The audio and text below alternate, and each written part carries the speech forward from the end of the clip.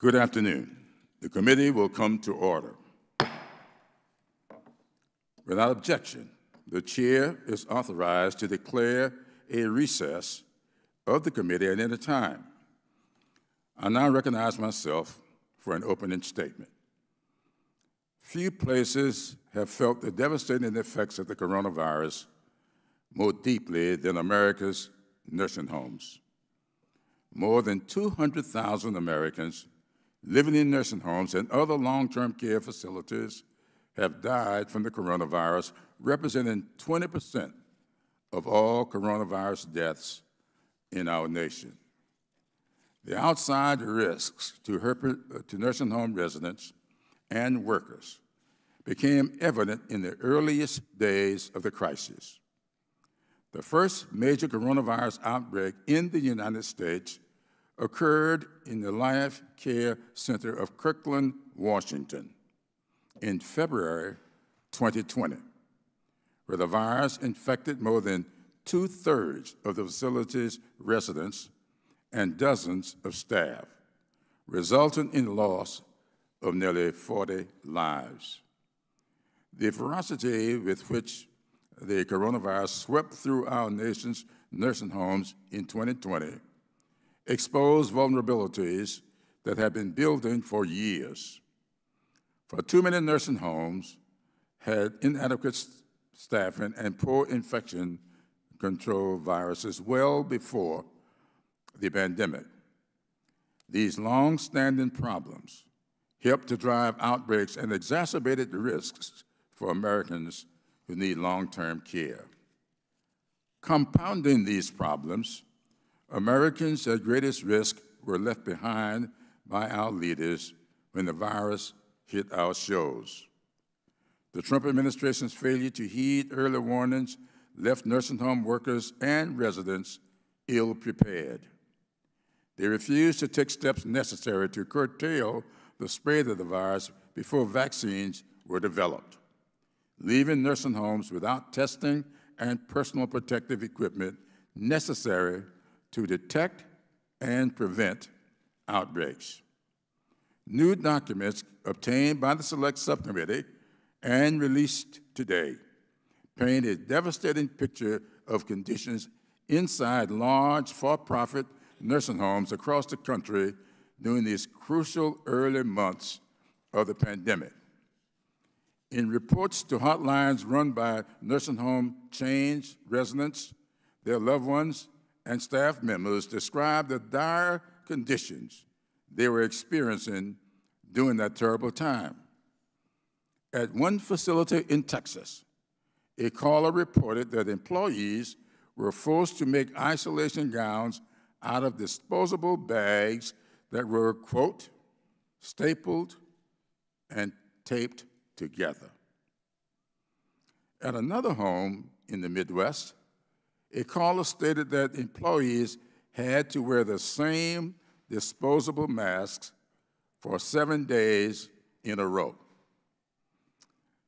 Examples of the reports we received are illustrated here. I think we all should be able to see this.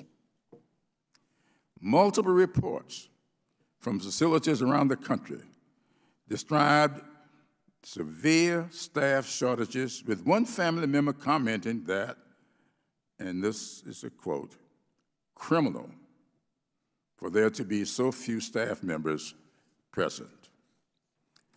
These new documents also shed light on the pressure that was placed on nursing home staff an employee at a Maryland, Maryland facility who was experiencing coronavirus symptoms was reportedly told that if they would that they would be fired if they did not come to work. At another nursing home in Colorado, a manager pressured employees to come to work even if they feel bad and have concerns that they may be sick with COVID 19. Fortunately, our nation has come a long way since these dark days. Life-saving vaccines and treatments have helped to save countless lives among nursing home residents and staff. the Biden-Harris administration has prioritized protecting the health of Americans in long-term care facilities. In addition to conducting an historic vaccination campaign and dramatically increasing the supply of tests and PPE, the administration has sought to institute important reforms, such as minimum staffing requirements and measures to reduce crowding inside nursing homes. While the heightened risks that existed in 2020 have passed, risks to nursing home residents and staff will remain. We must take further steps to address long-standing challenges in this industry. We must increase the uptake of boosters among residents and staff to make sure that they stay protected against new coronavirus variants. We must ensure that nursing home workers receive adequate pay and benefits, such as paid sick leave, which is, which is crucial for the health and safety of residents as it is for staff. We must also improve oversight and transparency in the nursing home industry to give residents and their loved ones the ability to make informed decisions about their care. I would like to thank all our witnesses for testifying today. I look forward to hearing more about the challenges facing our nation's nursing homes and the changes that are needed to fix these long-standing problems so that our nation's nursing homes are safe places for those who, those who need care. Before yielding to the ranking member, I ask unanimous consent uh, that Representative Stefanik be allowed to participate in today's hearings. Without objection, so ordered. I now recognize the ranking member for his opening statement. Uh, thank you, Mr. Chairman. Appreciate you having this hearing, and thank you for the unanimous consent request uh, to allow Ms. Stefanik to participate as well. I really want to thank our witnesses for coming, and we look forward to hearing your testimony as well. Uh, I'll keep my remarks brief to allow for a short video that I'll be playing from uh, Ms. Janice Dean. Uh, she and her family were affected in the worst way by the deadly nursing home policies that were put in place by a handful of governors at the beginning of this pandemic. Uh, she's been very outspoken talking about and trying to highlight this issue. She's obviously got some very emotional feelings about this that she'll share. Uh, it is incredibly sad, though, that what we've seen in this past year plus is a refusal to acknowledge the deadly mistakes that were made and subsequently covered up by certain governors in nursing homes. We've highlighted this over and over again. We've called for hearings on what happened to get more transparency. We still, to this day, can't get some of that information.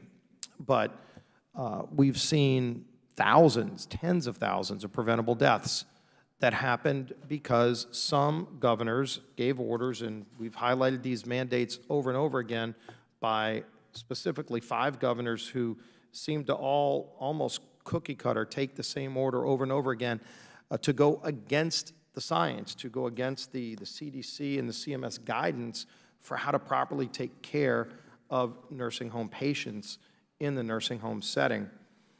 If you go back when the Trump administration wrote numerous documents uh, to protect the elderly, to protect the vulnerable, especially in nursing homes, and I've included some comments from CDC, from CMS, uh, where they talked about things like limiting visitors, increasing protective equipment, and strengthening the quarantine guidelines in nursing homes especially. Uh, clearly, some of the states that I referenced ignored that, went against science.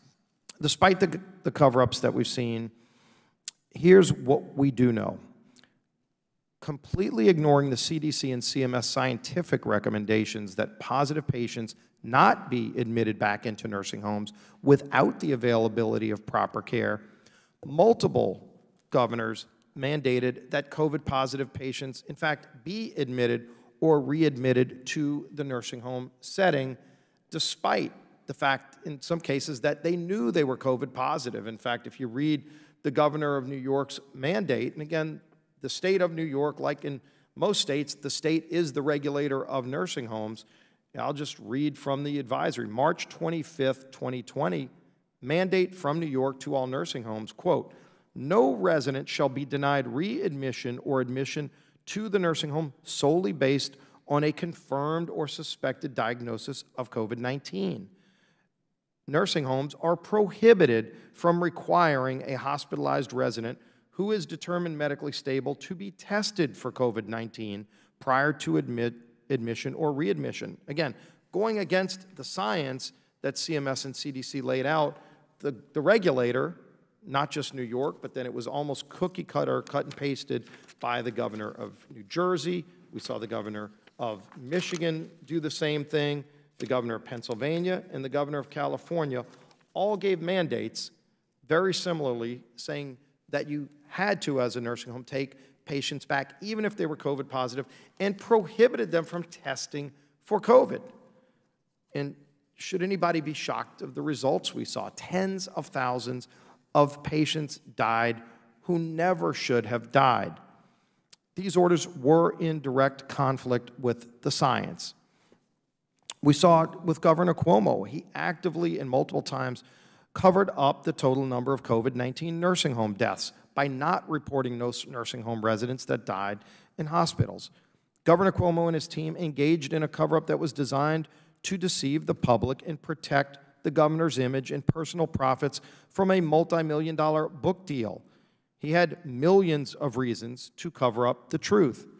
No wonder Governor Cuomo refused our request to testify. We asked him to testify at this very hearing, and he still to this day has not even responded.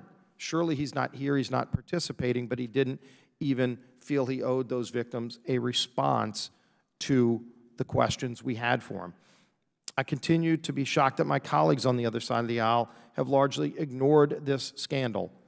Why is excessive and preventable death in nursing homes being made a partisan political issue?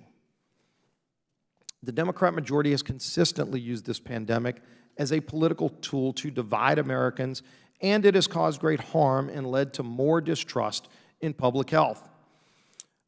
With that, Mr. Chairman, I would like to show the video from Ms. Janice Dean because it does give some more insight into what happened specifically.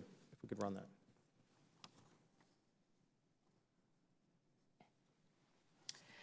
Chairman Clyburn, Ranking Member Scalise, and members of the Select Subcommittee on the Coronavirus Crisis. I'm sorry I can't be with you in person today, but I do appreciate this opportunity to provide a statement about the horrific, preventable tragedy yeah, that affected my family and thousands of others in New York State. On March 25, 2020, the former governor of New York, Andrew Cuomo, along with his former health commissioner, Howard Zucker, signed an executive order that would put a Category 5 disaster into the homes where our most vulnerable lived. None of us knew that in 46 days, over 9,000 COVID positive patients would be admitted into their residences. As the deceased were packed into body bags and piled up in storage trucks, Andrew Cuomo and his administration did everything they could to cover it up. I began my advocacy in May of 2020 on behalf of my husband's parents, who both died of COVID, which they contracted in their separate elder care facilities.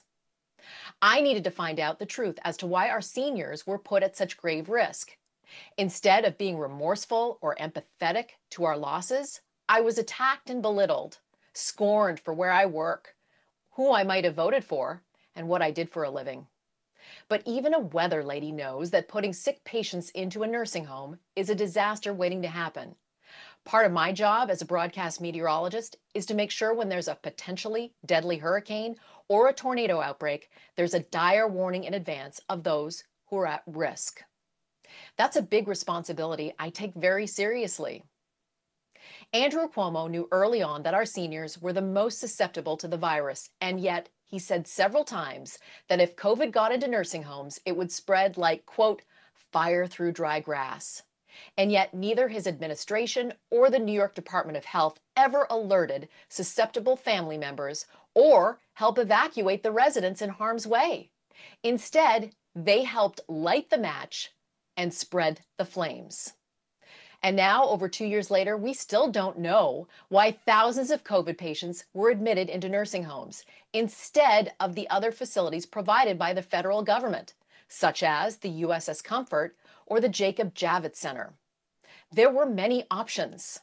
So, why did Andrew Cuomo give blanket immunity to nursing home operators days after issuing his executive order? And why did he try so hard to cover up the thousands of deaths afterwards? Did it have anything to do with his $5.2 million book he was trying to sell to the highest bidder? A closer look at the timeline and the money trail might give you some clues.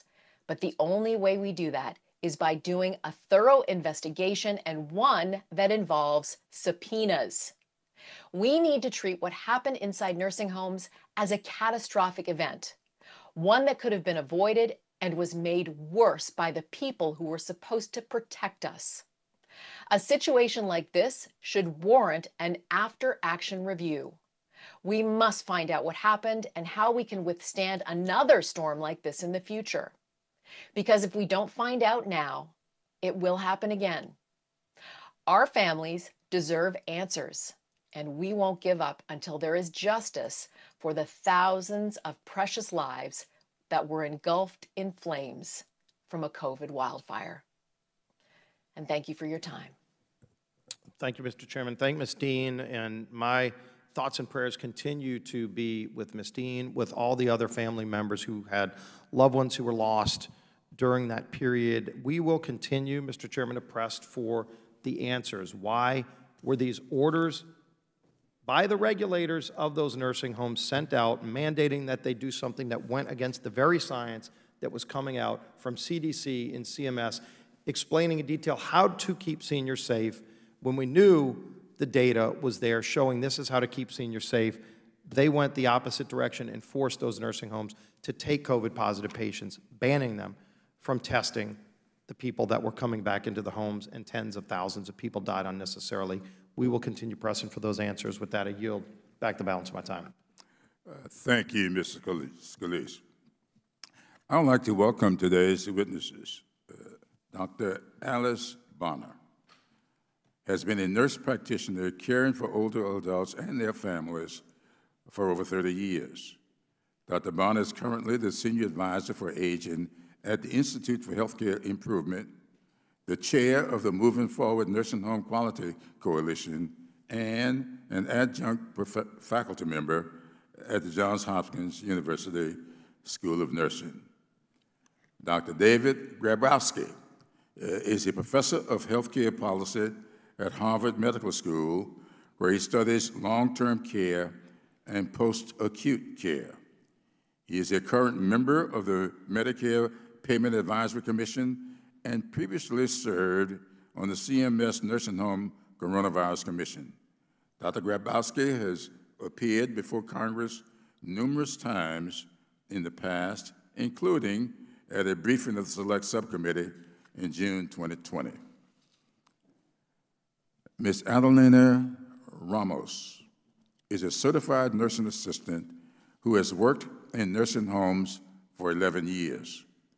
As a staff member at the Greenville Nursing Center in Greenville, Rhode Island, she worked on the front lines of the pandemic, including heroically uh, providing care for dozens of critical Ill, Ill patients during the early months of the coronavirus pandemic.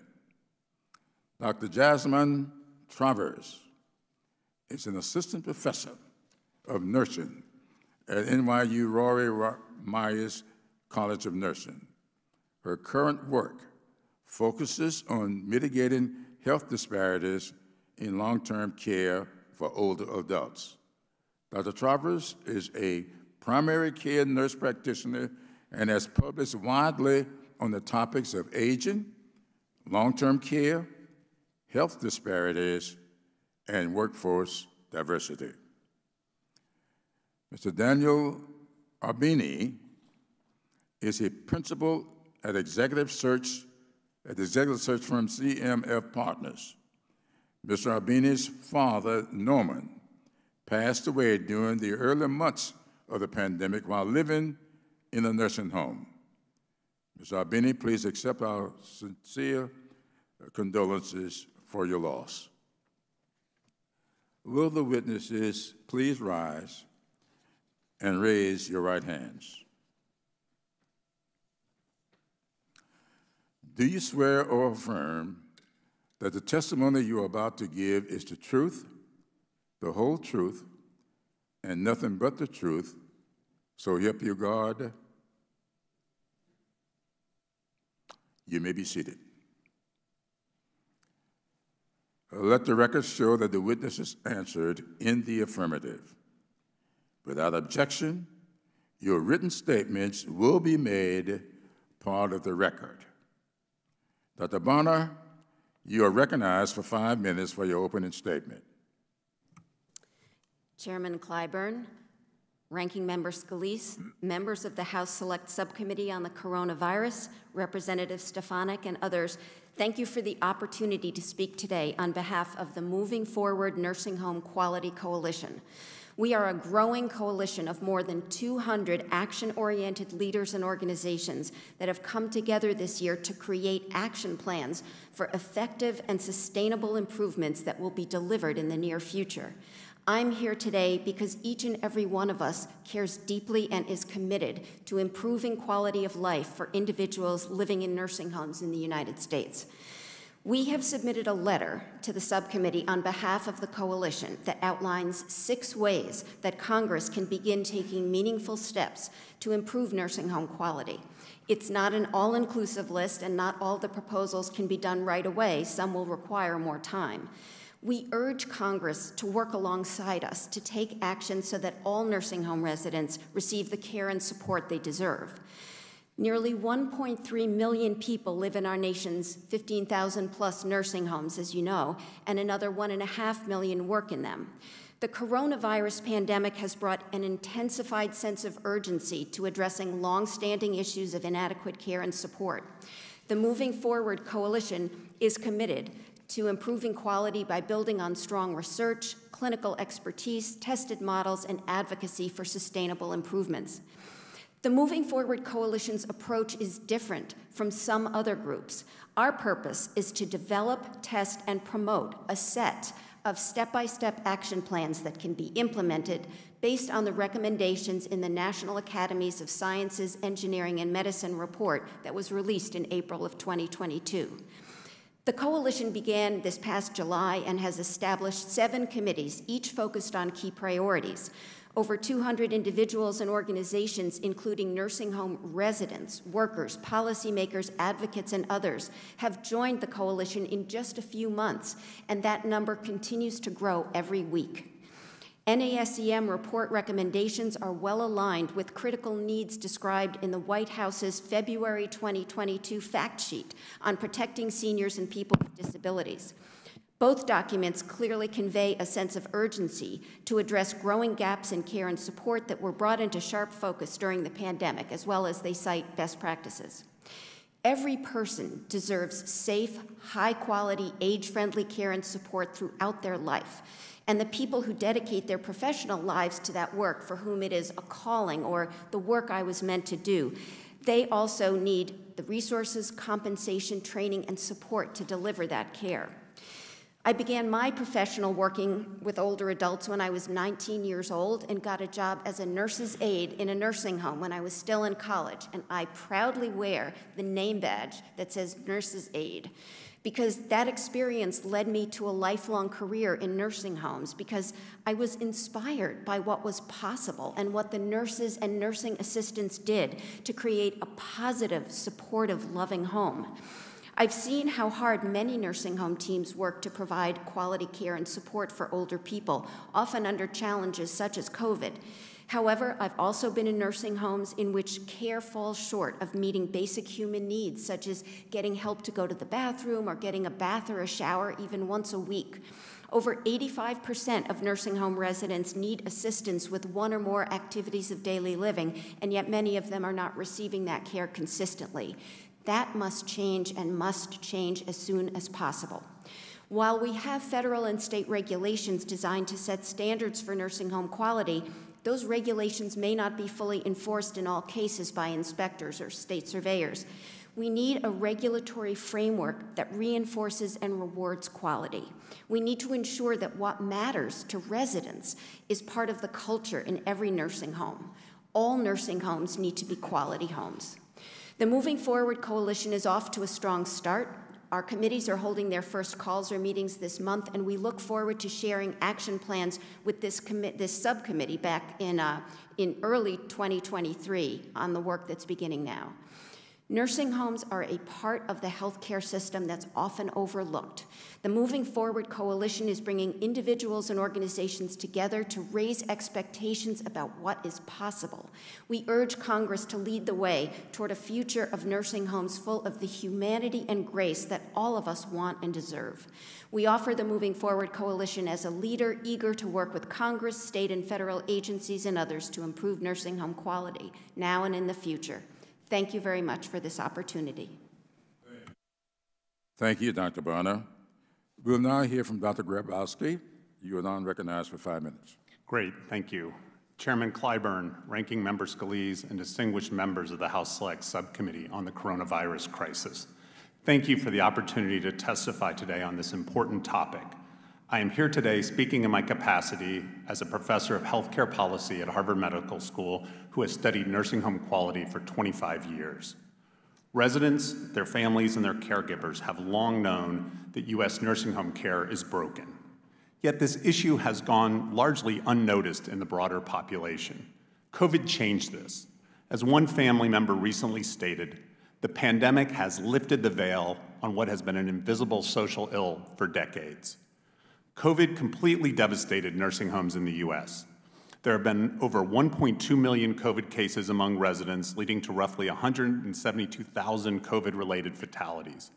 Over 2,600 nursing home staff members have died from COVID, making nursing home worker the most dangerous job in America. Not surprisingly, both resident census and staff employment levels are still down by over 10% relative to their pre pandemic levels. A key question in directing policy resources is determining what factors were associated with COVID outbreaks in nursing homes.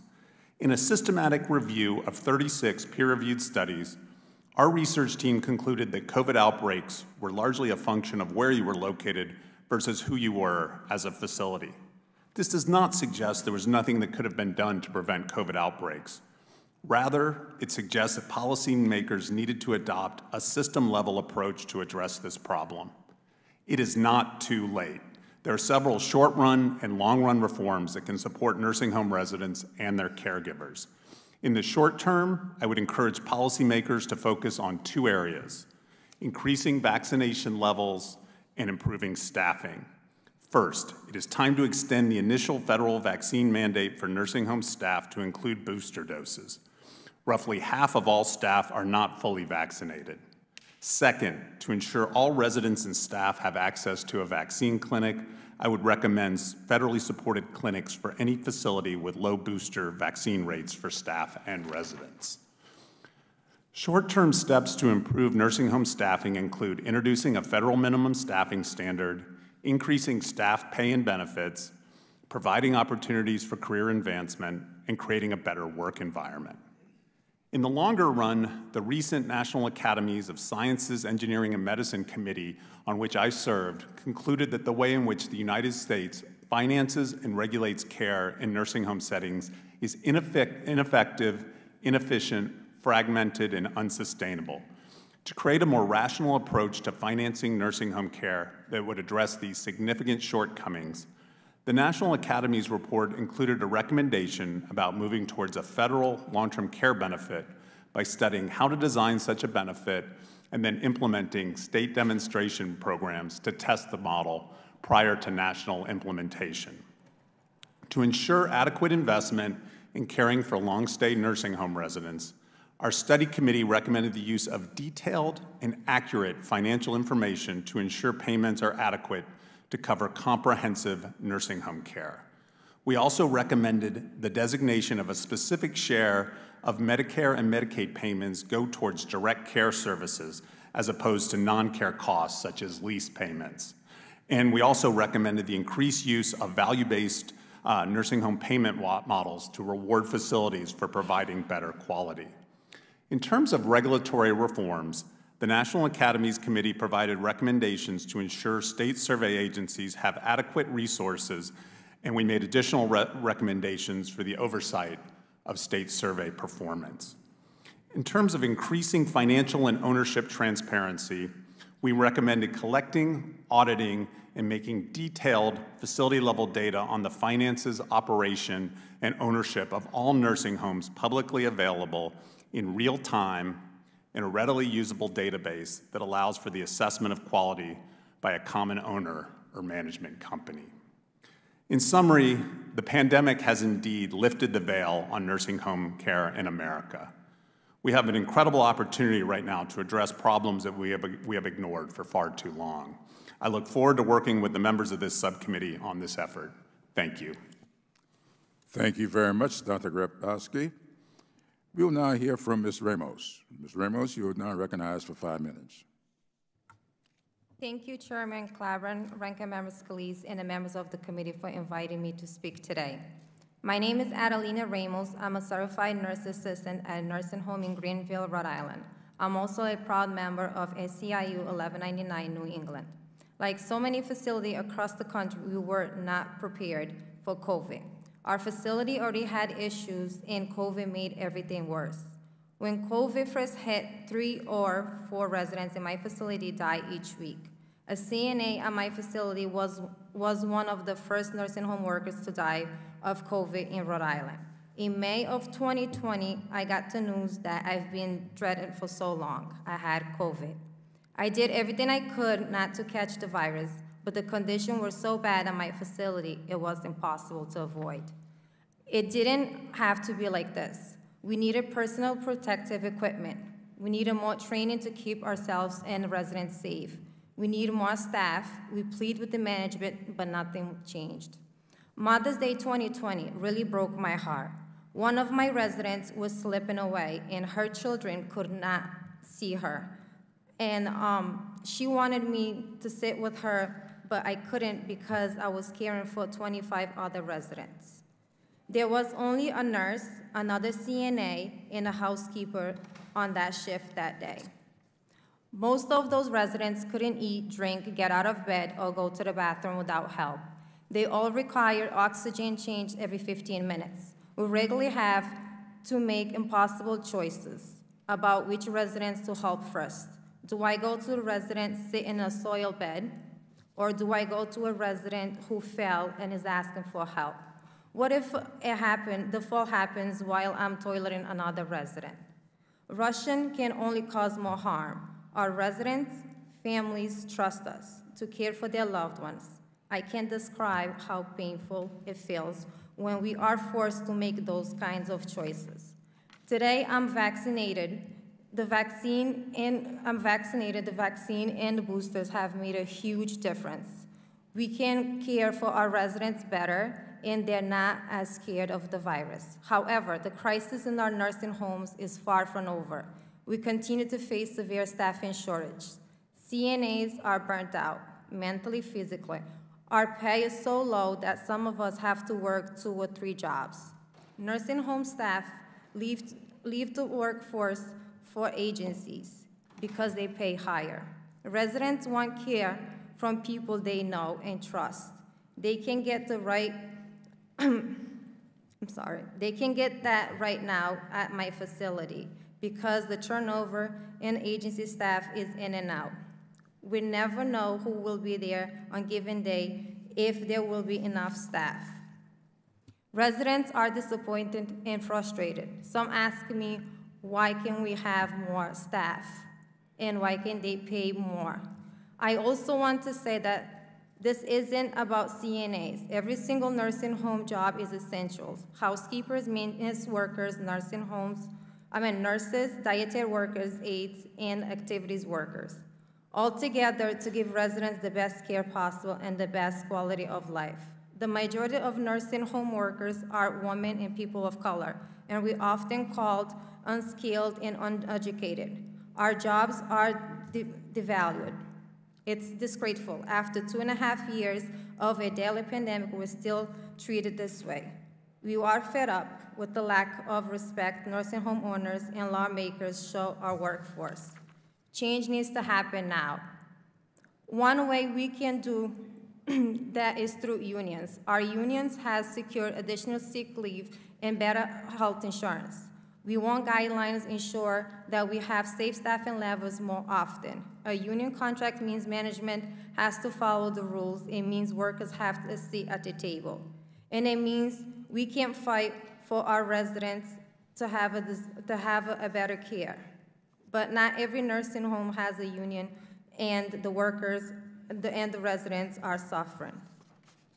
I'm here today again representing the thousands of nursing home workers are, who are still fighting for what we deserve. Congress has the power to set standards in all nursing homes. You have the power to hold nursing home owners accountable and make sure that public dollars are used to improve care and care jobs, not increase profits. We will need quality care at some, we all will need a quality care at some point of our lives. And that can only happen with a skilled, strong workforce that is respected, protected, paid, and staffed. On behalf of all nursing homes workers and our residents, please take an action. Thank you. Thank you, Ms. Ramos. We will now hear from Mr. Arbeeny. Mr. Arbeeny, you are recognized for five minutes. Thank you, Chairman Clyburn, Ranking Member Scalise, and members of the Select Subcommittee on the Coronavirus. My name is Daniel Arbeeny, and I live on Amity Street in Brooklyn, New York. In one week in April, I had four family members die my father, my uncle, my two close cousins of the virus. Three of them were in nursing homes. It was we reluctantly at that time joined the 100,000 other New Yorkers in the New York, what we call the New York COVID nursing home orphans. There were a lot of people. Thank you for very much for hearing this, and I appreciate the opportunity to speak about our personal family experience. The GAO testimony last year pointed out that while nursing home residents are less than 1% of the population, at that time, they were nearly 30% of the COVID deaths. Thank you, Chairman, for uh, pointing out it's now 20%. Those are the ones that we're supposed to love, honor, and protect. And we failed. We failed miserably. No family should go through this, and we all went through it, and many here lived it on the other side. In New York State, the critical component was the March 25th directive compelling nursing homes to accept COVID possible positive patients. My family has lived on the same block for five generations in Brooklyn. It's a wonderful heritage we were given, but more importantly, it is where my family has deep community roots. My father was a vivacious 88 year old man, still working and driving with a very sharp mind and a quick smile. He sat on the stoop of the house, always offering a smile, a helping hand, and a greeting to everybody, regardless. In short, my dad was in rehab to get strong, right around the corner. From his window, he saw the rehab center and was COVID free up until the time of the governor's March 25th order. It was the nursing home who actually came to us and told us about the order and how Cuomo and the state health commissioner refused to listen and, and just ignored their pleas. They even came up with options for the state, all ignored. Excellent options, mind you. Despite 24 hour care, um, we brought our father home, gave him 24 hour care. A week later, he passed away. We took a COVID test 12 hours before. He died 12 hours later. 12 hours after that, approximately, we got the COVID positive test. Even non medical personnel, we knew it was senseless, the state government, to exercise the full, the fullness of its powers to compel people with a highly contagious disease, a killing machine at the time, into nursing homes where the weakest and most vulnerable were confined.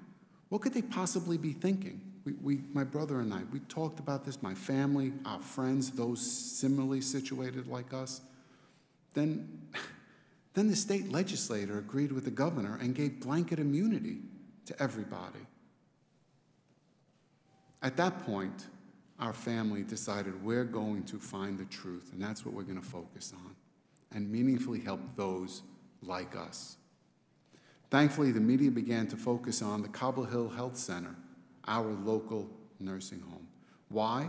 Because New York State had asked all the nursing homes what were the number of probable deaths from COVID.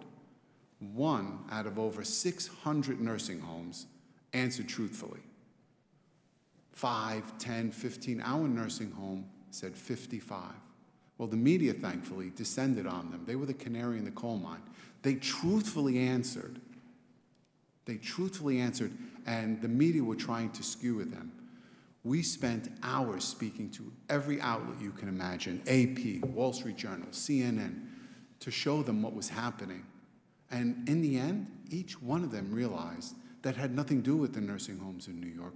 They were forced into this, and they had no idea about the March 25th order, the PPE shortages in the nursing homes that the state was ignoring.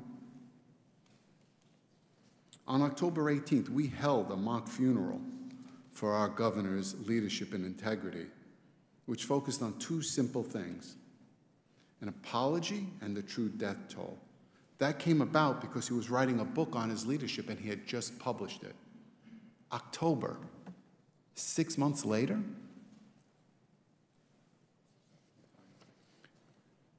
despite the fact that COVID being a virus knows no political party, he blamed it on politics. Based on how what we know today, every statistic New York State used was misleading. Rather than using facts to point us to the truth, the guardians of the public interest used their offices to point us away from the truth. Finally and thankfully, on January 2021, the state attorney generally, general announced a bombshell report that the deaths were undercounted, and so were the readmissions. Speaking for myself, almost every other family and every other family member in this situation, we still have not accomplished our goal of learning the truth. And I'm here before you to hope that you can help us accomplish that.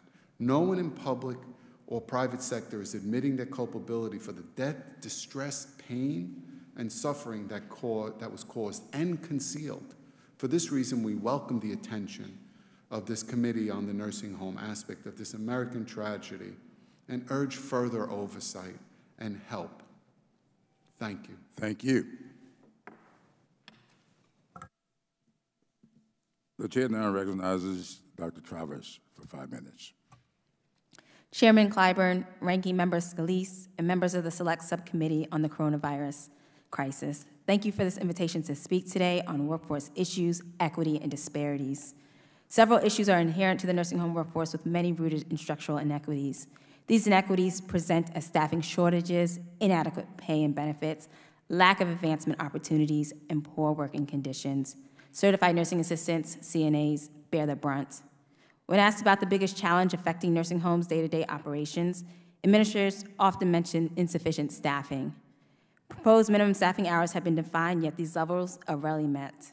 Nursing homes not meeting hours have higher Medicaid census and proportions of black residents, for profit ownership, and located in severely deprived neighborhoods and rural settings.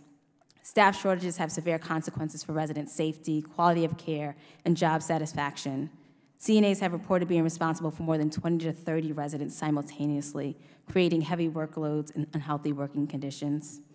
Insufficient staffing can result from the inability for homes to recruit and retain staff and not scheduling enough staff. Such challenges center around stigma toward nursing home work, including the type of work, pay, and workload.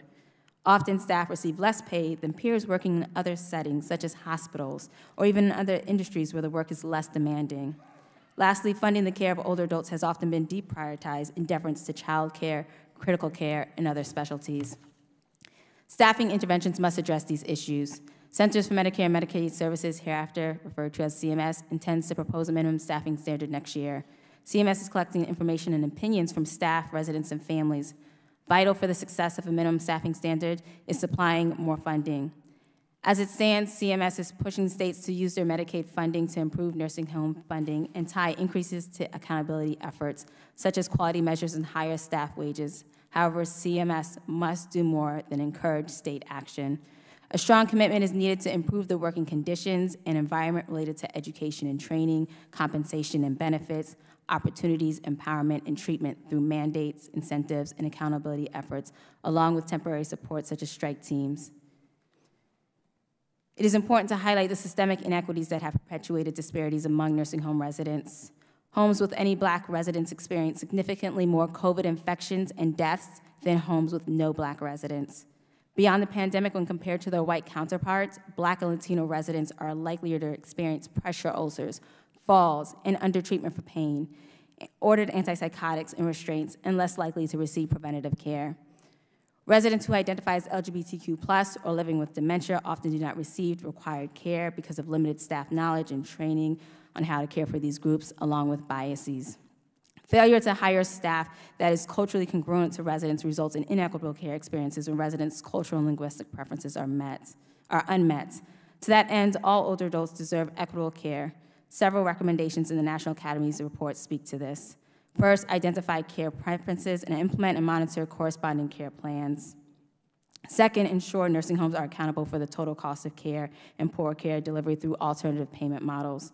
Third, requires staff participation in ongoing diversity, equity, and inclusion training. Fourth, prioritize models that reduce disparities and strengthen connections to communities and broader healthcare systems. Lastly, develop a health equity strategy for nursing homes. This is important to know what additional work is needed and where. Finally, I want to emphasize the importance of combining policies, data, and experience to truly appreciate the consequences of decreased oversight, support, and accountability. During the pandemic, CMS waived inspection requirements outside of infection control. Thus, citations for deficiencies such as odor and care planning were ignored. Visiting homes, my nose would sting from the pungent smells of urine and feces. Sheets were heavily soiled, and residents were severely unkempt. Pleas among residents for simple requests, such as going outside just to feel the sun on their faces, were constant yet unaddressed. While such, such, while such citations may seem unimportant, they lead to poor quality of care such as falls, pressure ulcers, infections, depression, and avoidable hospitalizations and deaths. We must consider the lives that were lost for these reasons and approach such waivers more meaningfully in the future. In conclusion, I urge the subcommittee to recognize that older adults do not want to stop living, although they might need help living. Only then will we be able to start to make meaningful change necessary to improve nursing home care staff for our nursing home care for our staff, residents, and families. And I just want to recognize Congresswoman Carolyn Maloney, who re represents NYU. Thank you. Well, thank you very much, uh, Dr. Travers. Uh, each member will now have five minutes uh, for questions. The chair now recognizes himself for five minutes. Uh, thanks to the Biden-Harris administration's historic vaccination campaign, 87% of nursing home residents and 89% of staff have been vaccinated against the coronavirus. These tremendous vaccination rates helped to curtail the devastation that we saw in nursing homes in 2020. Ms. Ramos, you worked on the front lines of the coronavirus pandemic as a certified nursing assistant at a nursing home in Rhode Island. You've testified today that um, you've had personal experiences that I would like for you to tell us what you think has been the impact uh, of this coronavirus on your life and the lives of the residents you cared for. Thank you, Senator, for the question. So on 2020 was the worst day I've ever experienced in my whole life. When we first got um, a resident that was sick with the virus. Um, I were, at that time, I was working on a dementia unit, which means that those residents couldn't tell us like their symptoms, how they were feeling. Um, we our residents were fallen, and then that's when um, we find out they were very weak and sick. Um, and at that time, that's when we kind of figured like they were again sick, and then they were trying to test them and to make sure they had the virus. Um, but for us, the staff, they weren't testing us at that time. So we had to go out on our own, and if we had the symptoms, to test ourselves. The facility wasn't doing that. And also, we didn't have enough PPE at the facility. Um, they, we were told we had to use um, the same mask for several days, and uh, we have to reuse the gowns. And we also told them what we were trained in infection, or if you have any virus, we're supposed to change our PPE. And we were told that they didn't have enough. So since the facility that I work at, we have a, a union, um, we had to call our union organizer and complain the situation that was going on at the facility, that some staff are having the symptoms and they were not testing them and they were going out on their own and get tested and then that we didn't have enough PPE. So our union had to um, bring us extra PPE and also, um, they had to call the state to come in and test us. That's how they send in the National Guard, and that's when I find out I was asymptomatic, and I found out that I was positive when the state came in. Could you tell me, did the um, vaccine, once the vaccine came, was there, what was the um, extent of the change?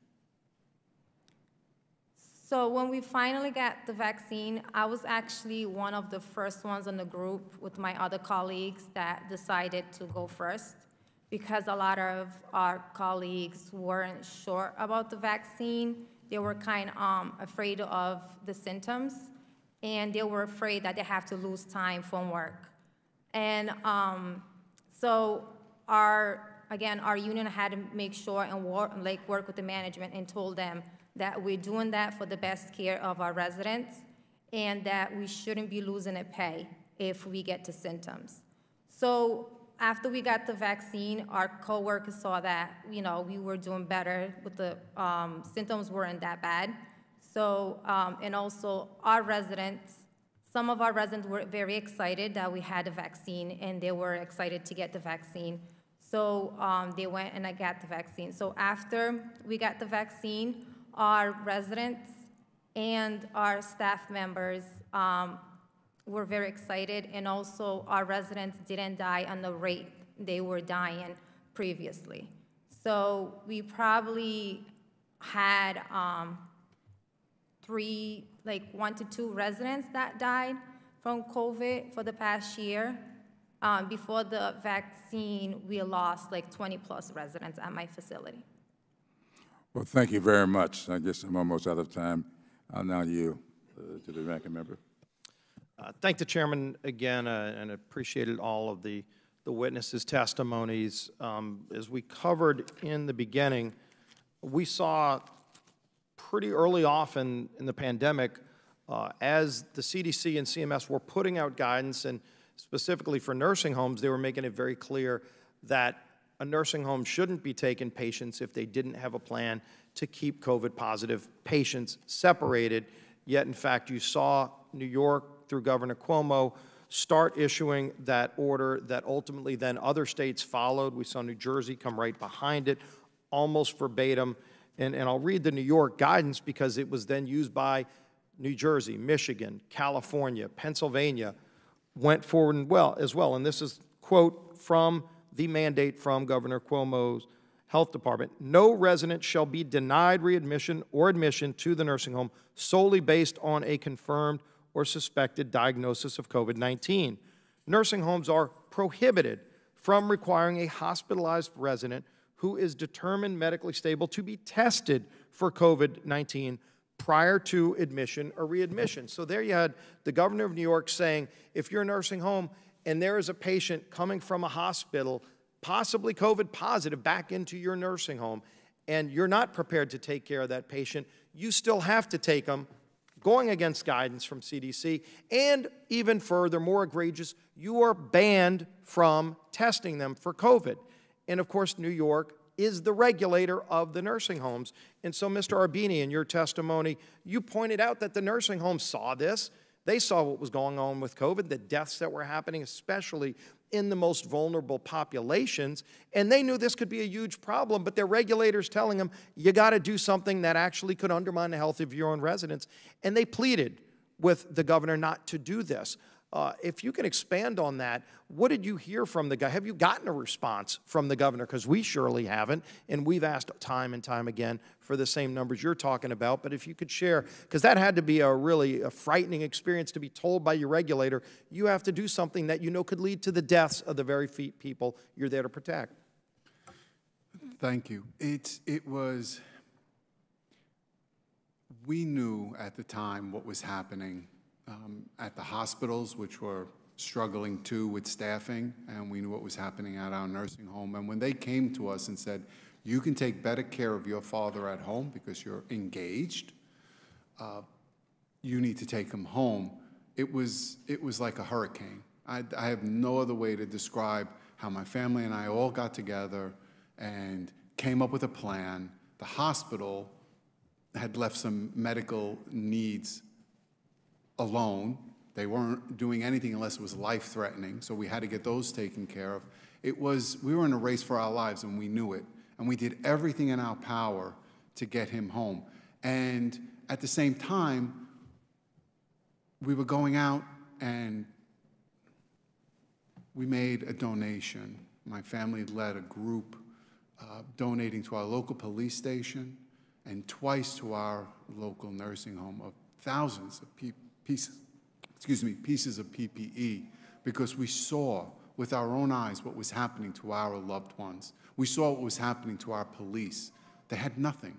So our city knew, our state knew what was happening, and they ignored it. Their focus was the hospital. Did you get any reaction from Governor Cuomo or his office that they were, I mean, obviously they're being told this could be deadly, did they even care? Did they do anything differently? No, they did nothing differently. Our local elected officials sent emails, called. We had a fully functional ICU hospital one block from our house, one and a half blocks from the nursing home.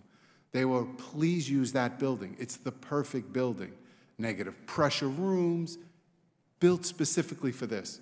Governor Cuomo would not use it. Well, let me come back to that. I, I wanted to ask Dr. Grabowski, because it seems like you've done some research. There were some pretty riveting numbers that you talked about, not only nursing home deaths, but especially, you know, 2,600 people who worked in nursing homes. Is, is, it wasn't just the nursing home families, like you said, 100,000 family, uh, families who are part of this, this orphan class now you're talking about, but those workers.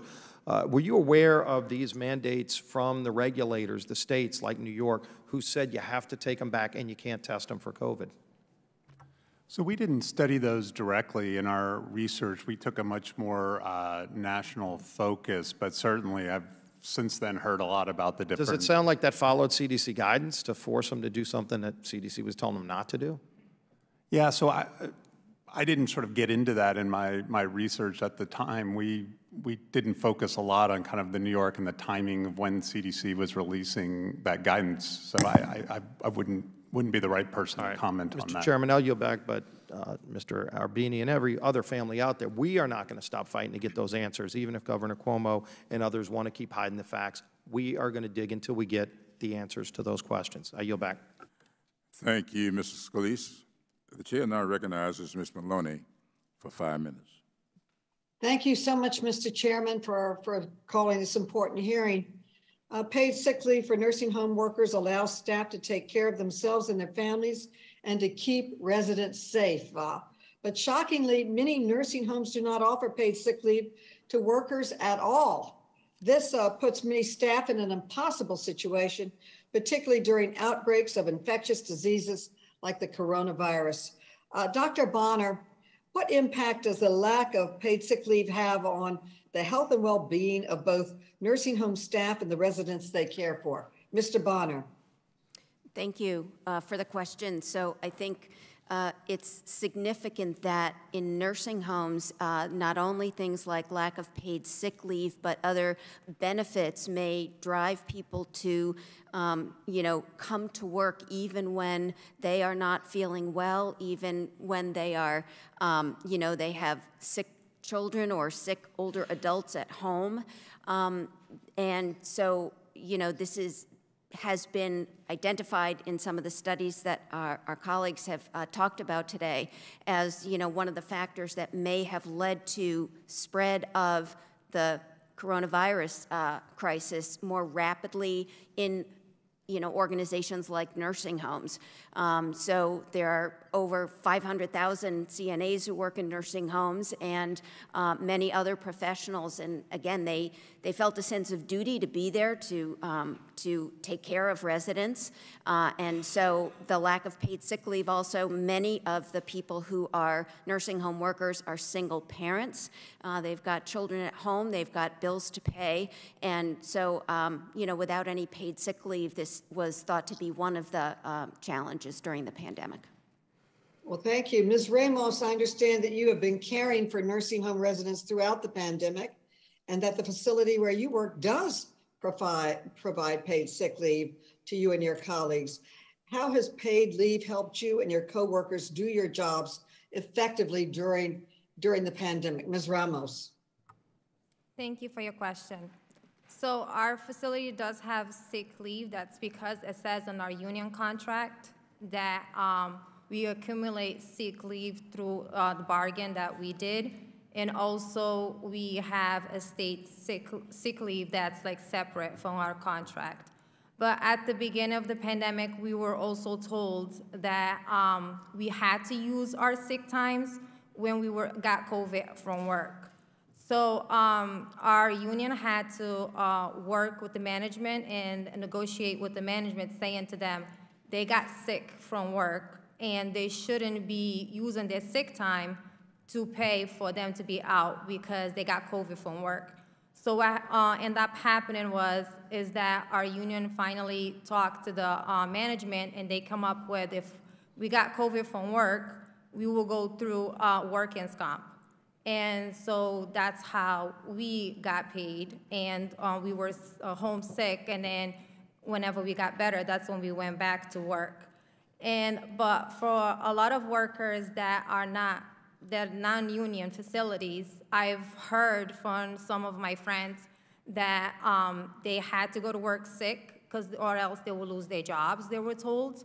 And some of them were actually sick at work until they couldn't be sick anymore, you know, they couldn't take it anymore, and they um, had to be out, but they were not getting paid.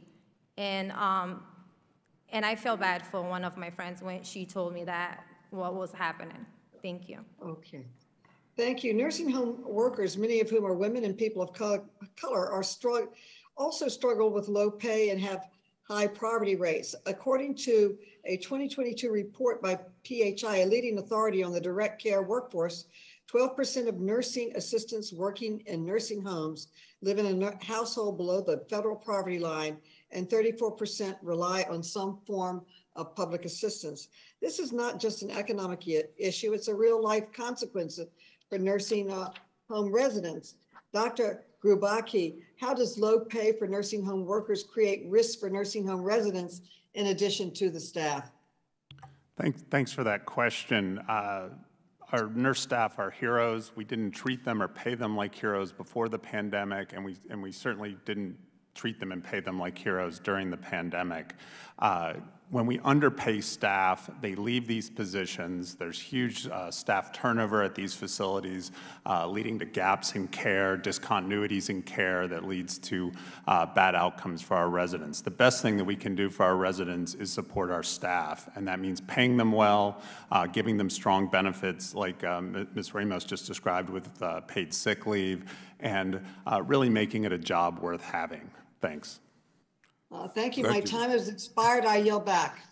Thank you very much. The chair This is Mr. Jordan Okay. for five minutes. Thank you, Mr. Chairman. Dr. Grabowski, was it a bat to a pangolin to a hippopotamus to Joe Rogan and Aaron Rodgers, or did COVID start in a lab? Dr. Fauci and Dr. Collins say it's the former. They said it was animal to human. Some of the virologists who they've given our tax dollars to over the years uh, have said the same, although initially, I think it's interesting to point out, before they had their conference call with Dr. Fauci and Dr. Collins on February the 2nd, on January 31st, 2020, Dr. Kristian Andersen, who's received a number of our tax dollars over the years, said virus looks engineered, virus not consistent with evolutionary theory. Dr. Garry said it's easy to do this in a lab. They, of course, changed their position after they had this famous conference call with Dr. Collins and Dr. Fauci. I was just wondering what you think. Did it start in a lab or was it from a bat to a pangolin to a person? So I, I'm a health economist. I've, my research has been focused on nursing homes, supporting staff, uh, supporting residents, You're, you're, you that. got a But I- degree. I saw your background. You got a degree from Duke, degree from Chicago. You're professor of healthcare policy at Harvard. Is it is it a good idea for the guys in charge of our government policy on this to mislead the American people? So I, I don't have an opinion on where the virus started. Just last week, Dr. Redfield was in, interviewed, and Dr. Redfield said this Fauci knew he was misleading the Congress and the country. Do you agree with Dr. Redfield, or do you think Dr. Fauci was telling us the truth? Once again, I, I don't have an opinion on this. This is sort of outside the scope of my When government research. said the vaccinated couldn't get the virus, were they guessing or lying? Once again, this is sort of outside the scope of what I focus on. I'm really focused on the care of our nursing home Yeah, but residents you're, and you're a smart guy. You're, you're a professor at the Harvard University School of Medicine. And I'm a Uh, smart guy that chooses to focus on nursing homes and really supporting those. well, how and- about and- this question? And How putting better nursing home policies in place to really Well, uh, provide better care for our the residents and Can our the staff. vaccinated get the virus? So- Sorry, ask Can the vaccinated get the virus? Did individuals who are vaccinated get, get COVID? Can they get it? Yeah. Sure. Sure, they can. So when the government told us that they couldn't, were they guessing or lying? Once again, that's sort of outside the scope of. How about what I- this one? Is the pandemic over? Once again, that's not for someone in my position. I'm a health economist whose research focuses on Yeah, nursing but you're in front of the you're in front of the select committee on coronavirus. I mean, we, we talked about the number that I think you cited. Uh, Representative Scalise cited this as well. Uh, I think it was 172,000 individuals in nursing homes lost their lives. We're talking about healthcare policy. One of the things it seems we should be getting to the bottom of is how did this thing start? You're a witness in front of the committee with this background, educated guy, professor of healthcare policy at Harvard. I'm just asking you something. President of the United States seems to think the, pa- the pandemic is over. I'm asking, do you think the pandemic's over? Once again, uh, this is a hearing about nursing homes. I'm really focused on, on how do we support our staff and how do we support our residents? And we might had, we might have had we might not have had the terrible things happen in nursing homes if the government would have been square with us from the get-go. That's one of the things I think is important for the country to understand. Maybe some of these terrible things don't happen. In fact, we've had testimony in front of this committee that said if they if they would have fo- focused on the idea that this came from a lab, and I asked Dr. Gerard, I said, would that have changed how we dealt with the virus, and could that have saved lives? And he said, yes, it would have. So that's, that's why we're asking the question. That's why it's important to the American people. And frankly, just on a fundamental level, it's important that the government not mislead its citizens, which it obviously seems they're doing. So may- maybe I'll ask it this way now. If the pandemic's over because the president has said it just a couple days ago, and the government misled us on the origin of the virus, seems pretty obvious they did. They definitely misled us on the, the statement that the vaccinated couldn't get it or transmit it. Uh, should people who lost their job be able to get it back? Once again, that's kind of outside the scope of kind of what I, what I research. Re- recruitment levels for our military are off 40%. I just talked to colleagues on the House floor who say for the first time in their time as a member of Congress, where they didn't have as many people apply to go into our uh, academies because of the vaccine, because of the vaccine mandate that's on. I'm just asking the basic question should people, healthcare policy, this seems to have a bearing on overall policy, should people who lost their job be able to get it back, particularly in the United States military? So my, my research hasn't focused on kind of job loss in the military. That's really kind of outside the area that I study. Once again, I'm very focused on, on nursing homes, which uh, is the focus of this hearing. How about this one? Should Pfizer, J&J, Moderna have to pay uh, the, the back salary of people who lost their job, seeing how they've been misled on the, on the, on the effectiveness of this vaccine? Once again, that's not an issue that I've focused on in my research. Mr. Chairman, I yield back. Thank you, gentlemen, for yielding back. The chair now recognizes Mr. Foster for five minutes. Yeah, thank you, Mr. Chair. And I I guess I'd like to start by apologizing on behalf of the U.S. Congress, uh, you know, and, and to express my admiration for your not getting lured into trying to um, talk about things which, where you don't have the training or the knowledge about. As you can see, the U.S. Congress is not constrained in that way of, uh, for talking about things we know nothing about. Think knowing where, where this thing started is important? Reclaiming my time, um, I would like to actually, at this Well, I'm point, just, this is a ask you fundamental question. unanimous This is the consent. Select Committee on Mr. Coronavirus. the- The origin of the gentleman's time- virus is an important question, Reclaiming my Mr. time. Chairman. Mr. Jordan, I think you know that I'm not going to tolerate that. Well, No one has disrupted you. no, no, but he commented about uh, my, my questioning, and I'm asking a I, I fundamental question I commented on my time, I'm and I will saying to you. continue to about use my time. questions. Correct. You can And ask whatever questions No. you want. You don't have to comment about mine. And if you comment about mine, I want to raise the fundamental question. Why won't this committee look no. into how this thing started? I'm going to answer your question, and you aren't going to ask a question again now. I, I, I'm, I'm going to ask you very politely to Obviously, obviously, Mr. the Chairman, time. obviously the Democrats don't care about finding out how this virus that disrupted so many lives, including Mr. Arbeeny's family, they don't, they don't care about finding how this My thing family started. has been- I do, and the folks I Your family, do. your family has been uh, uh, uh, impacted by this, and so has mine. So let's, let's stay away from that. So I think you would like to know, how, like, I think it makes sense for you to And I've got why- how enough this thing sense to started. know that we are going to do this in regular order. And the order here today is to talk about nursing homes. We are not going to get into that.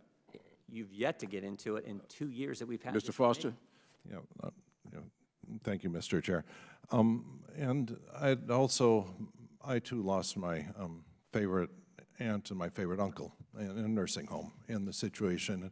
And I just want to say that the vast majority of people working in the nursing home industry were trying to do the right thing with imperfect information.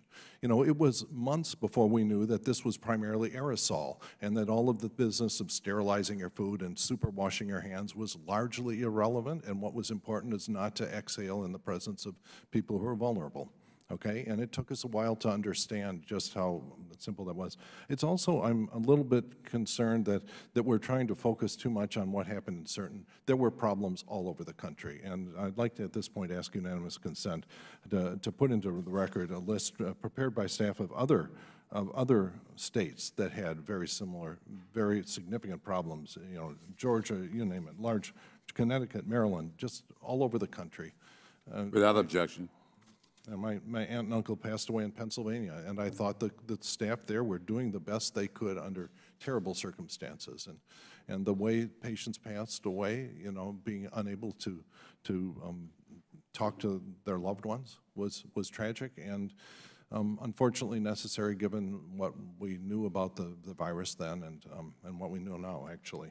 And there's a large number of lessons to be learned.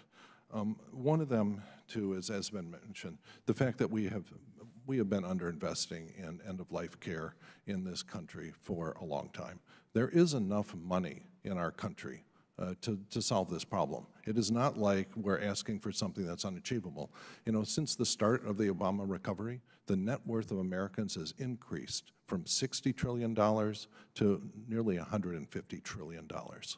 All right, that's a lot of money, and um, but unfortunately, not much of that increase in wealth has ended up in those in the middle class who fall out of the middle class at the end of life, because that is who ends up in nursing homes. This is not something just, you know, nursing homes are not just for minorities in um, in areas. There's a sort of narrative about this is what nursing homes are about, and it's not.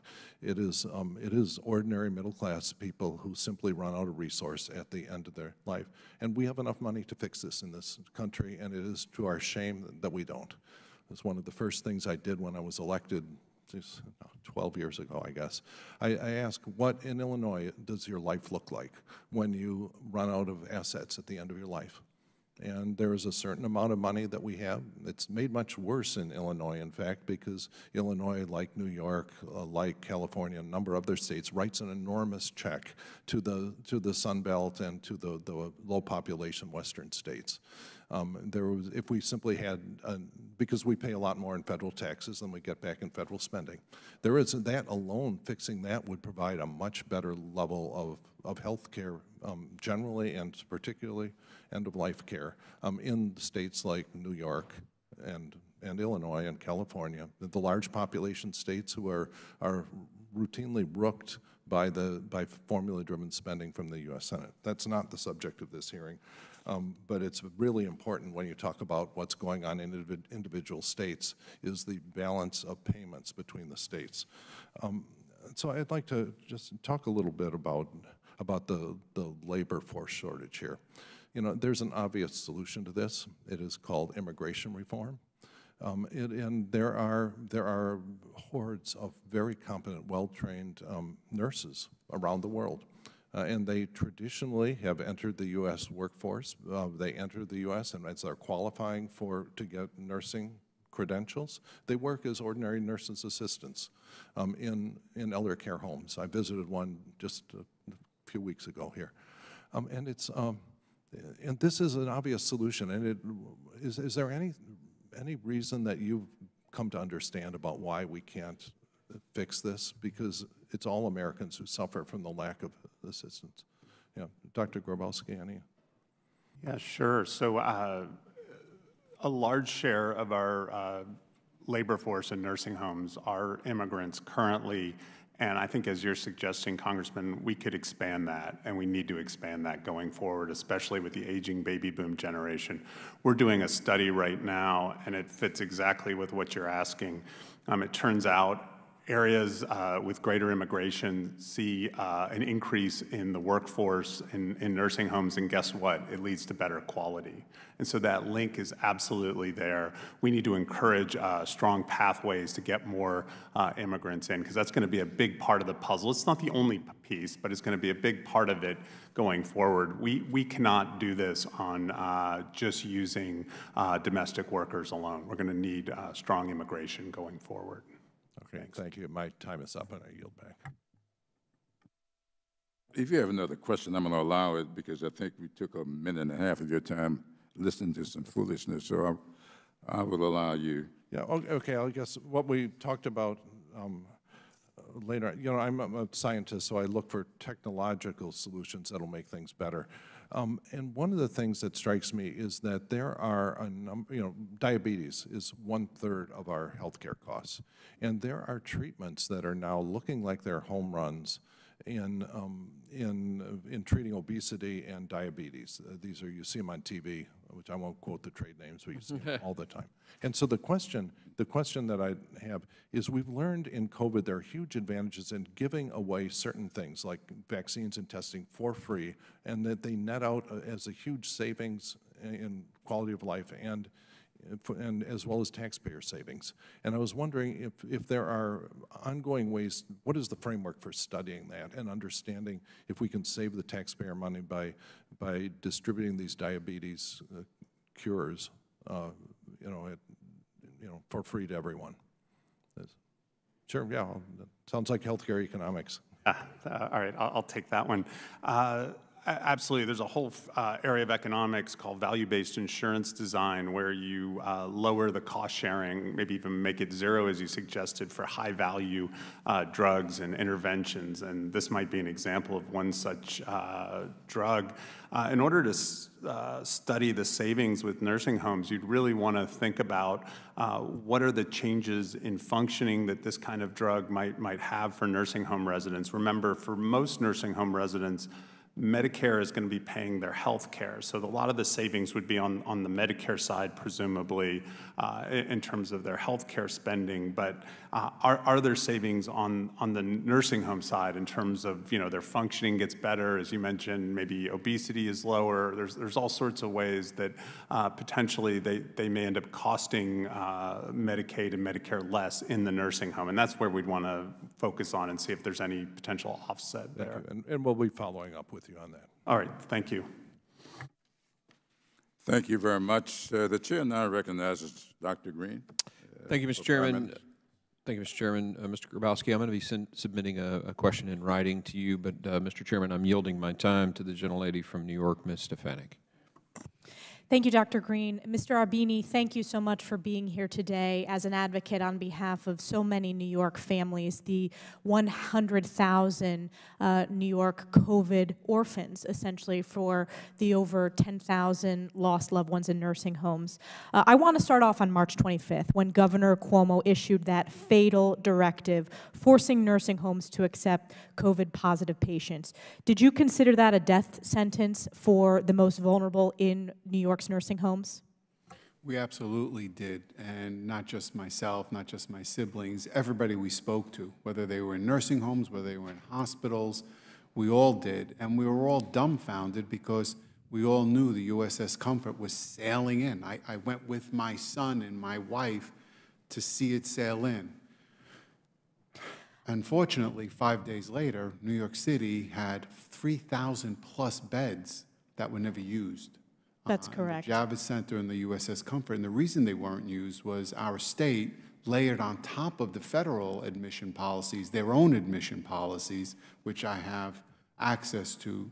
Um, and so it was never used. It was a disaster, and I've spoken with constituents in my district in New York 21 who lost their loved ones in nursing homes uh, in the North Country and upstate New York. But I want to point out, everyone knew Governor Cuomo and Lieutenant Governor Hochul's directive was not accordance to CMS guidance. Look at this, Secretary of HHS, there is no CDC guideline saying you should be taking positive COVID patients and putting them back in the community in nursing homes. Former CMS Administrator Seema Verma, under no circumstances should a hospital discharge a patient to a nursing home that is not prepared to take care of those patient needs. And then when asked directly, would New York State's guidance have violated CMS guidance, the answer was yes. This was a death sentence.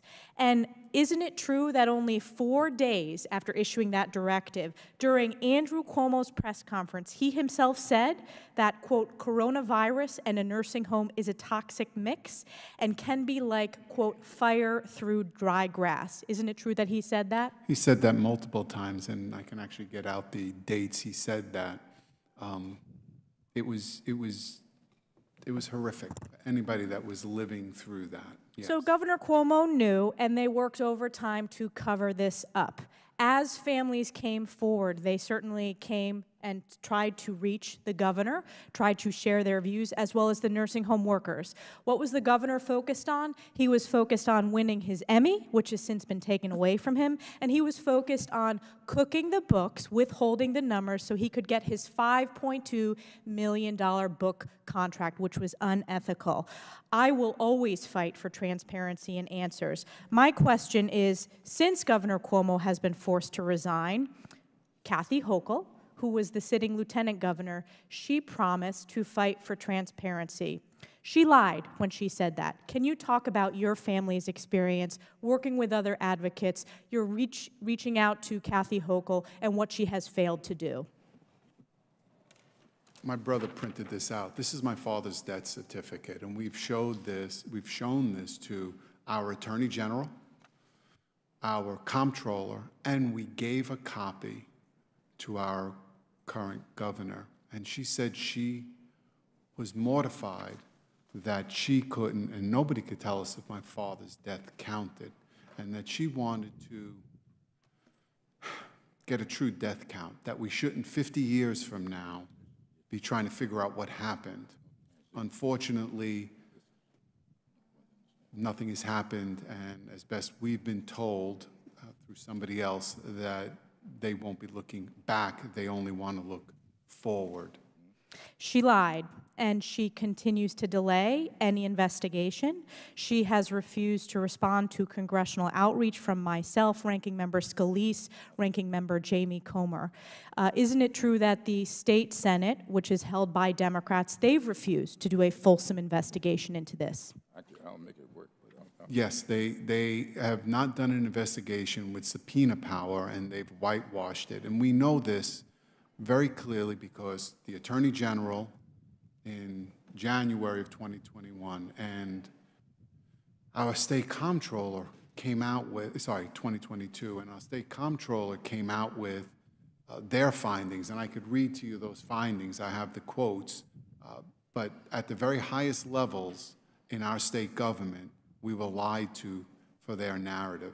Help is on the way. The subpoenas are coming. House Republicans are committed to standing up and demanding answers and justice for those families that our colleagues across the state, uh, across the aisle, in New York State and here have failed to do. The subpoenas are coming. Help is on the way. I yield back. Gentlelady for yielding back. The chair now recognizes Mr. Raskin for five minutes. Mr. Chairman, thank you very much. This morning, the subcommittee released reports exposing the truly horrifying conditions in nursing homes across the country in the early months of the pandemic. And I can remember like it was yesterday how the Trump administration abandoned nursing home workers and other essential workers as they pleaded for the federal government to help them get critical supplies necessary to protect themselves on the job and curb the spread of the virus. But instead of mobilizing a serious federal response, President Trump contemptuously stated that his administration was, quote, not a shipping clerk. And he told the states to go and find their own supplies. Today, I'm actually reading about a, a new book that's been published um, quoting Melania Trump in a phone call with former New Jersey Governor Christie, and in which she discussed seeking help convincing her husband to take the pandemic more seriously. You're blowing this, she recalled telling her husband, the authors, right? This is serious. It's going to be really bad. And you need to take it more seriously than you're taking it. He just dismissed her. You worry too much, she remembered him saying, forget it. The new documents demonstrate just how severely nursing home facilities were affected by PPE shortages under the dereliction of duty of the administration. So long before Donald Trump did nothing to rescue his own vice president, Mike Pence, as he was being hounded and chased out of the Capitol by Trump's mob, he was doing nothing to rescue tens of millions of Americans from the nightmare of COVID 19. Some employees were reportedly told to, quote, share PPE with other employees. Some were only given one protective face mask to wear for an entire week and were instructed to use makeshift isolation gowns out of plastic or paper bags that were, quote, stapled and taped together. Ms. Ramos is someone who worked in a nursing home during those early months of the pandemic. How did these systemic PPE shortages affect you and the lives and work of your colleagues? Thank you for your question, Senator.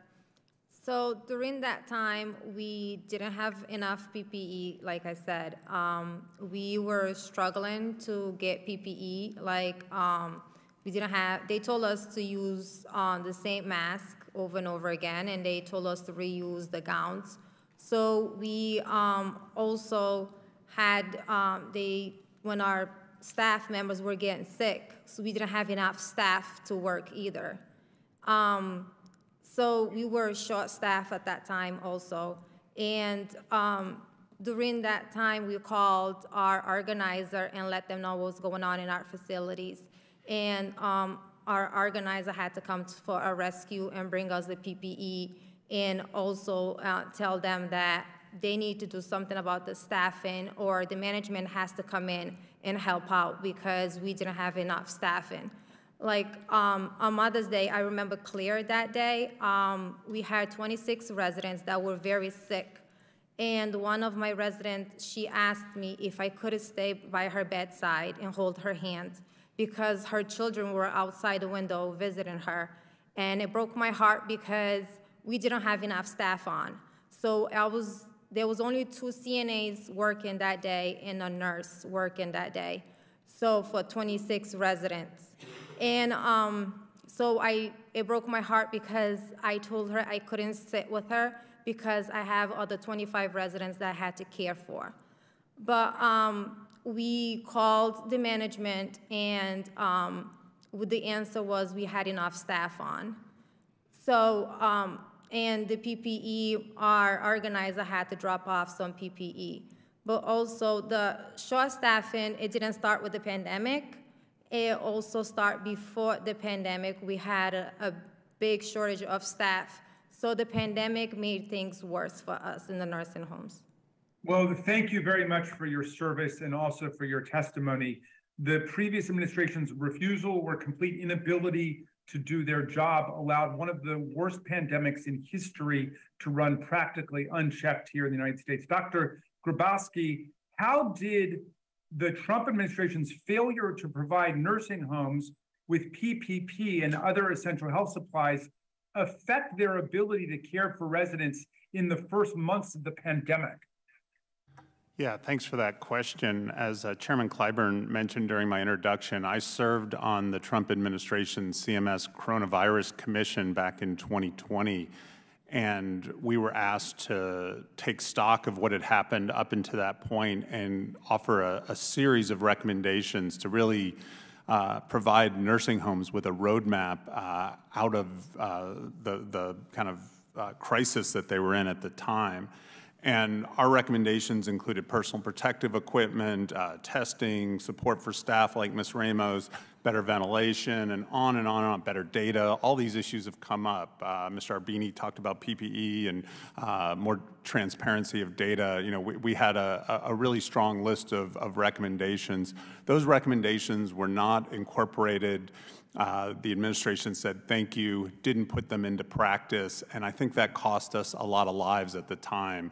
Uh, Congressman, if we had went ahead and uh, really uh, provided PPE to facilities, uh, rapid testing, uh, support for our staff, and on and on and on down the list. Uh, I, I, think that that death total I cited earlier would be a lot lower today. Thanks. Thank you for your testimony. I yield back, Mr. Chairman. Thank you, Jim, for yielding back. The chair now recognizes Malliotakis for five minutes. Uh, thank you, Mr. Chairman, and thank you to our witnesses for being here today. As a New Yorker, I'm especially um, happy to welcome Mr. Arbeeny for to here to tell his story. Um, I think we can learn a lot from you and uh, expose the decisions that were made by the Cuomo Hochul administration that ultimately led to over 17,000 of our seniors dying, and unfortunately, your father, and my condolences for that. I just want to talk about the timeline because on March 13, 2020, CDC and CMS released guidance stressing that a COVID 19 positive nursing home resident must be quarantined and properly treated. The guidance directly forbids nursing homes from accepting patients they were unable to properly treat. Then on March 15th, in a phone call between Jared Kushner and Governor Cuomo, Cuomo allegedly said, for nursing homes, this could be like fire through dry grass. He admitted that.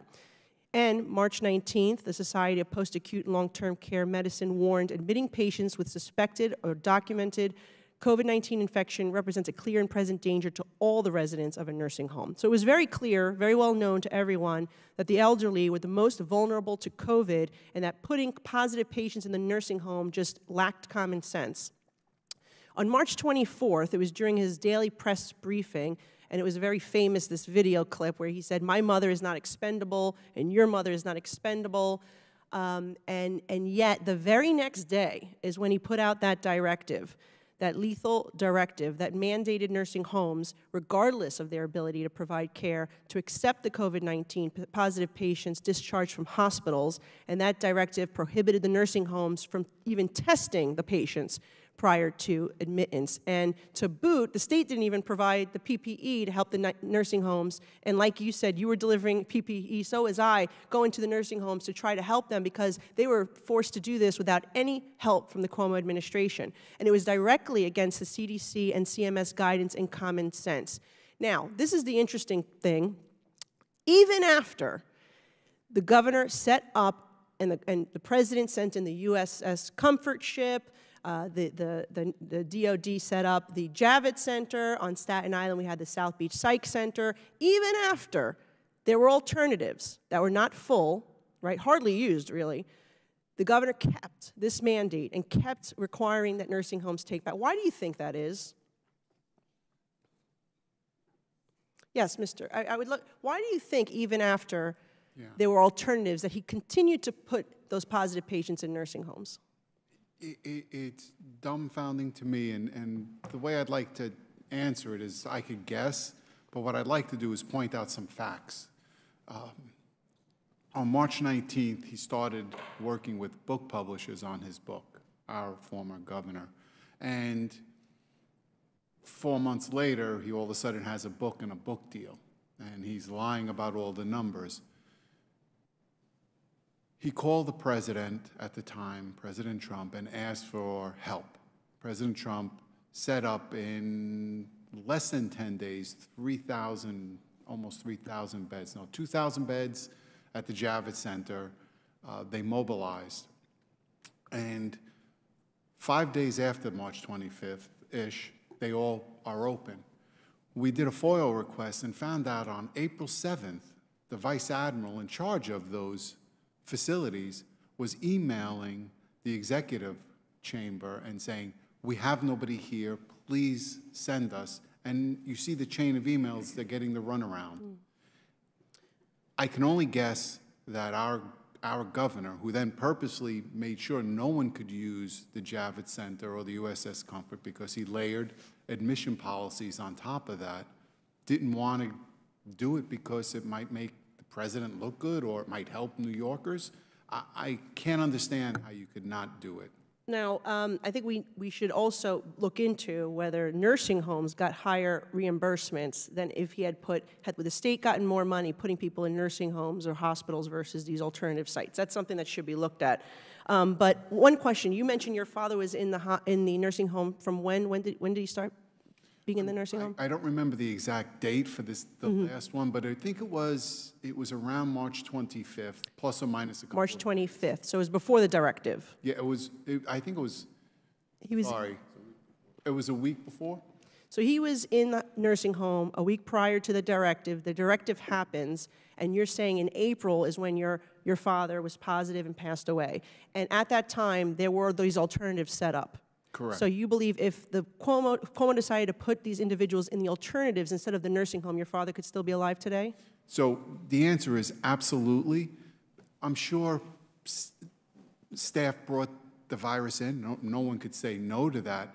But putting 9,000 COVID positive patients into the nursing homes is nothing short of a death sentence for my dad and the other tens of thousands, uh, 15,000 people. Well, again, my condolences, and I've run out of time, but thank you for being here. Thank you. Sorry for going over. Thank you, gentlelady, for yielding back. Uh, The chair now recognizes Dr. Miller Meeks for five minutes. Thank you, Mr. Chair, and I want to thank all of our witnesses for being here today. And uh, let me also say to all of those who lost loved ones uh, during the COVID-19 pandemic, as a physician and a former public health director, we know that uh, infectious diseases are something that we have largely tried to, to help, to assist with, and COVID-19 uh, is one of those where we still don't even know the origins of COVID-19 and are still uncertain about transmission status with vaccination, but we know people with vaccines and boosters can still transmit the virus, so we still have some to learn. But one of the things I can say that we do know from the infectious disease and medical standpoint is that when you mix sick people with an infectious disease with well people, that you're likely to get transmission. Uh, and as we've heard from my colleagues today, it's clear that the governors in New York, New Jersey, and Michigan violated clear guidance and infectious disease protocols by issuing must admit orders, which sadly led to thousands of unnecessary elder deaths. We already knew uh, from the evidence we had from China uh, that there was uh, transmission in elderly people, that children rarely got ill, uh, There was a question whether uh, children would transmit the virus because they have uh, a much better immune system. We knew that this group was the most susceptible group, and we already uh, knew that there was guidance from CMS uh, and from CDC in regards to admission status. Let me, let me also say that the actions of these governors went against CMS and CDC guidance when they forced COVID-19 positive residents back into nursing homes, forced them to be accepted and declined, and in sometimes actually tried to get them not to test the COVID-19 status. While the Trump administration was issuing guidance to attempt to protect the, this already vulnerable population, these governors showed carelessness and acted directly against the science. This is not political, it's scientific. For those of you who have children and have gone into a pediatrician's office, most pediatricians' offices will segregate out the well children from the sick children. And in fact, we did that with pathways into hospitals throughout the COVID 19 pandemic. Long-term care facilities have always been more vulnerable to infectious disease outbreaks for a plethora of reasons, but especially because they're primarily occupied by elderly people who have an already suppressed immune system. And this has remained true with COVID-19. However, carelessness and a lack of following the science led to worse outcomes than what was necessary. And I would say any public health director, state public health director, and I was one in Iowa, would have known that putting COVID-19 positive patients or patients who had not fully recovered from a COVID-19 diagnosis and admission to a hospital would put others at risk. When the population of caregivers are primarily younger, who may not get ill, it's possible they could bring in COVID-19 coming into a facility, but more likely introduced from ill patients who had poor immune systems and were more likely to transmit. So I believe that as we look back and conduct oversight of the COVID-19 pandemic, we should look at the importance of ensuring long-term care facilities remain a priority when it comes to allocation of resources, uh, such as PPE and vaccines for situations such as, uh, as when the pandemic arises in the future. Um, and Mr. Uh, Arbeeny, I think you've spoken to this, but could you speak to the risks this presents to residents of nursing homes, and can anyone provide a good explanation for the inconsistencies and how we did in hospitalizations, in hospitals, acute care hospitals, and segregating patients, and then what was allowed to be admitted and mandated in New York, New Jersey, and in Michigan? It, it felt to me, in my experience, being in the hospital system and in the nursing home system, that, and it felt to me, all the, all the focus in the media and everything our former governor was saying was on the hospitals, not on the nursing homes. It, it felt like nursing homes were the orphan stepchild. There's just, I, I can't put it any other way. And, and yet, the nursing homes are where our most loved people are, our parents, our grandparents. Uh, it, it, was it just nobody with common sense would have ever done anything like that. And, and what, 50 states, uh, 45 states didn't do that, the five that did? From what I remember, and I don't, I don't remember the numbers, the, the outcomes were just so much higher. And, and at a time when we prevented family members from being with those individuals. Thank you so much for your testimony. Mr. Chair, I yield back. Thank you, young lady, for yielding back. Uh, before we close, I ask unanimous consent to enter into the record 27 letters the committee has received from individuals and organizations about this crucial issue. Without objections or ordered. In closing, I want to thank all of today's witnesses for their testimony. We appreciate your insight and expertise as we seek to understand the challenges America's nursing homes faced during the coronavirus crisis so we can learn from the past and prepare for the future. I also wish to apologize uh, for the outburst we heard here today. When I was leaving home, going away to college back in 1957, my dad shared with me a little anecdote, and he concluded with this thought. Now, son, he said to me, the first sign of a good education is good manners.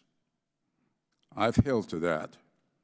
And it seems to me that a lot of people who went off to college did not get a good education. And so I apologize uh, for what you were subjected to here today.